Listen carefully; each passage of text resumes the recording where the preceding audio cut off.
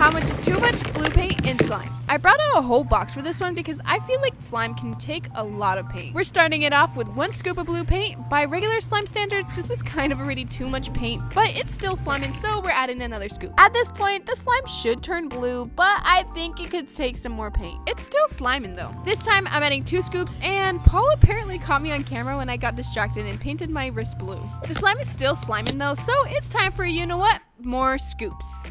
But at this point, the slime was blue, but sliming. So the only reasonable thing to do was to add an entire bowl of blue paint. So I added the whole bowl of paint, then I tried to make a heart and that kind of failed. And can you guess what?